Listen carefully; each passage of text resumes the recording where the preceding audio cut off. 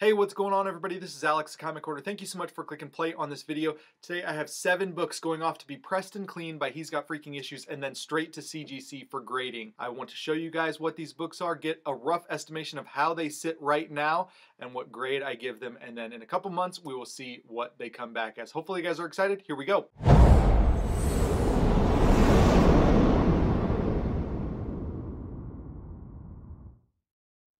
Speaking of graded comic books, just want to remind everybody that Shortbox is the premier marketplace for buying and selling graded comic books. I'll have a link in the description below for this free app for both Android and iOS users. The comic book industry is exploding right now, and it's super exciting to be in this comic book hobby right now and watching it and participating in it as it unfolds, as these books are just absolutely going through the roof. I'll be sending off seven books to get encapsulated by CGC to ensure their grade, to ensure their value that's associated with the grade. I'm going to be giving you a close-up of these books, and right now I'll highlight which ones I'll be sending off to get press cleaned and then graded by CGC. The first book is this great Steranko cover. This is X-Men number 50, the first cover appearance of Polaris. Then we have Daredevil number 7, the first red costume and a great battle between Namor and Daredevil. This is one of the nicest copies of New Gods number 1 I've ever had, so I'll be sending this off to get graded. This was a book off of my 2021 want list. This is Captain Atom number 83, the first appearance of Ted Kord, Blue Beetle. This is a pretty nice condition copy of The Tomb of Dracula number 1, great Neal Adams cover, and I think this will be pretty high grade. I found this one in the suitcase. This is Amazing Spider-Man number 14, the first appearance of Green Goblin. And last book I'll be sending off is this Captain America number 100, really great big premiere issue and a book that I've always loved. I think this book is pretty solid as well. Really excited to see what this one comes back as. All right, let's take a close-up look at each one of these books. This is the Captain America number 100.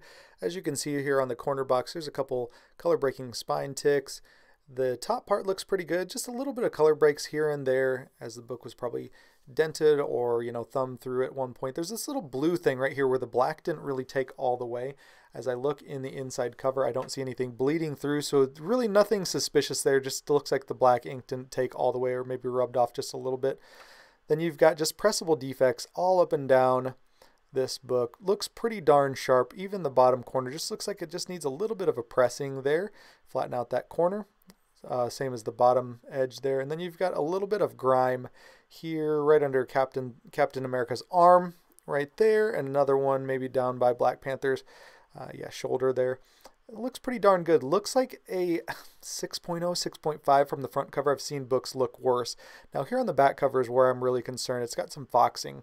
I think, think think that might ding the book pretty well. So if this book, you know, appears to be a 6.5, maybe even uh, you know dream of 7.0 i think that foxing might take it down to about a 6.0 hopefully not lower than that so i'm, I'm hoping and guessing 6.0 on this copy now here's the amazing spider-man number 14 book looks pretty good. There's just some reader wear uh, honest reader wear. Pretty solid copy. Top corner has some color breaks there. Not sure if that would clean up any with a cleaning but just some honest wear. There's some uh, creases there. As you can see the light catches those little wrinkles there that can be taken out in pressing. Front cover looks great. A little bit of a blunted bottom left corner on the spine with a little chunk missing there. Staple looks to be a little bit uh, torn at I think each staple honestly yeah this top one has a little bit of uh, issues there. Front cover looks like a 3.5 4.0 to me honestly. It's a it's a great book. Here's where the issue is on the back cover. So we'll take a look at the bottom edge here. Looks pretty good. Just a little cleaning a little, just a, just a slight press can help this book out drastically. Then you go over here to the top, a little spine roll as you can see, but then down here, this these tears and these folds are the folds are uh, rectifiable, but I think that tear is going to probably bring it down to a 2.5, uh, 3.0. This Tomb of Dracula number one is a really nice high grade. There's a little bit of stuff there at the top corner I think can be helped with a press. Top edge looks really good. Overall, just needs a really, you know, nice little press. I think this book will look good. A um, little bit of a dent there at the top right corner. Cover looks great. Has a really nice gloss. You can see the lights shining off of, of the cover with that gloss. Bottom corner just needs a little bit of a press there on the corner. Um, off-centered, of course, top to bottom. And then here's where the, my major concern is. Uh, just a little bit of dent and little color breaks right there. The, the, the press will help the dent, but the color breaks will remain. There's a little bit of an indent right here, and I think that'll look better with a press. You know, really nice press there. Front cover looks like a 9.0. I'm really hoping for a 9.0 on this book. Back cover looks like it just needs a little bit of a cleaning and pressing. There's a little bit of a corner crease there, but uh, I don't really feel like it kind of breaks color there. And it'll be easy to conceal that with the white cover. Then down the spine looks pretty darn good. Just needs like an overall cleaning. Absorene would do pretty darn good on this book. Uh, staples looks like has a little bit of staple rub there. Bottom corner just looks a little dirty. I'm hoping for a 9.0. Would really be uh, sad if it was anything less than a 9.0 on this book, because ultimately it looks it looks great. 9.0, anything over that, I'd be thrilled. Now here is Captain Atom, number 83. This one I'm really hoping for like an 8, uh, 6.5, excuse me. It has a lot of um, pressable defects. So you can see in that top left corner, there's a pressable defect. There's a pressable defect, and in that top corner could just really benefit from there. All the pages are really secure in this book. Just like a the poor wrap job, I think, the poor quality control. And these books are really hard to find in like super white pages. Little corner crunches on the bottom corners. So there's a corner crunch that could be improved with the pressing. And there's a little color break there. And then on the back, you'll notice that spine side corner crunch. Just looks like it needs a, a cleaning, but these Charlton books are hard to get without like that tanning issue going on that browning. So there's a little corner crunch there. There's that browning that I'm talking about. It's just hard to find Charlton books in my experience without that. Uh, it's the paper quality, I think.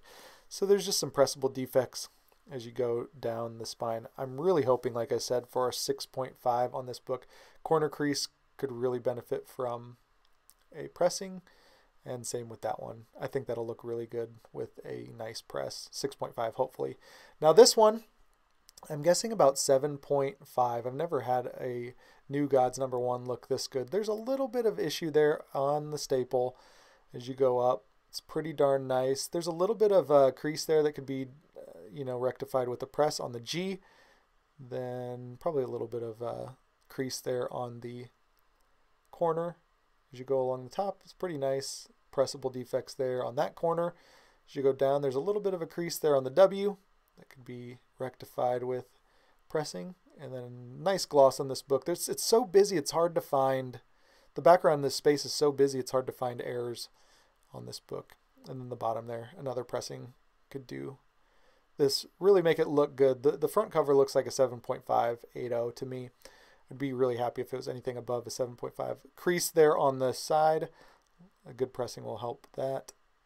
And just some pressable issues. A little bit of a blunted corner there at the top. As you go down the spine, it looks really nice. Just pressable defects as you can see. All these cumulative press pressable defects, if they get rectified, I really think this book could get, you know, 7.5, 8.0 really hopeful on that one. Now this one I may have overgraded, but I've seen 6.0s that look worse than this. So I'm, I'm thinking, you know, initially I graded this one at a 6.0. A lot of these color breaking spine ticks, they look pretty tough. They look pretty bad, but like I said, I've seen, I have like Green Lantern 76 that has those same, same issues and it got a 6.5. So, you know, you can't always compare apples to apples but this one looks like it has a lot of pressable defects, a little wrinkling, honest reader wear. And I think that this one could really benefit from the pressing. And I think it looks to be about that 6.0, 6.5. I mean, like I've said, I've seen worse.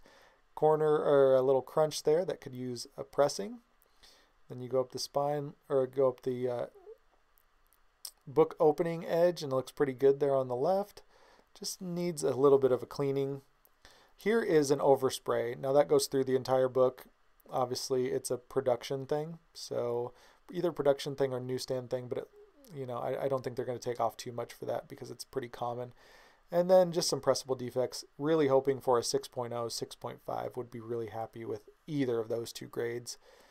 And I think it has a chance. Now this one is the last one. It looks really good. Uh, that's pretty much the main flaw right there is that corner crease, that color breaks. This is X-Men 50, the first cover appearance of Polaris, and a great Steranko cover. As you go up the spine, there's not many issues on the spine. It's a great looking book. There's a little bit of pressable defect right there, maybe a little bit of color break, but it really just screams like 7.0, 8.0, you know, 7.0 to 8.0. Just even the way that it sits. I'm, I'm thinking 7.0 the way it sits after pressing pressing and cleaning. Now on the back, you have this issue. It looks like it touched another comic with a, a, nasty staple. So I'm not sure what's the deal with that. Then you've got this one. Um, looks like it needs a really good cleaning there. I don't think Absorene will do that edge, you know, justice. It'll it'll really help, but I think a, you know a light white um, eraser would do that edge good. Really hoping for an 8.0 on this book. I think it's got a chance, but um, this one it, it looks really nice. And that is how I see the books as they sit today before pressing and cleaning and before grading. If I'm overgrading or undergrading, let me know if there's things you see. Let me know in the comments below if I'm missing anything or if you have a different opinion on these grades. But I'm really excited to see what they look like. Typically, I give about a range of what I think they could be. And then when I get them back from CGC with the grades covered up, you know, mystery for me, I give them another grade, and that's when I'm a little bit more accurate because that's how the book will be in the condition that it is after pressing cleaning and grading. So hopefully you guys enjoyed this video. Also uh, subscribe if you're not subscribed. Welcome to the channel. Hit that bell to be notified when there's future videos and the CGC unboxing a couple months down the road. If you did like this video, please hit that thumbs up and comment down below what you thought of this. Hopefully you guys are well, and I'll talk to you all on the next one. See ya, bye!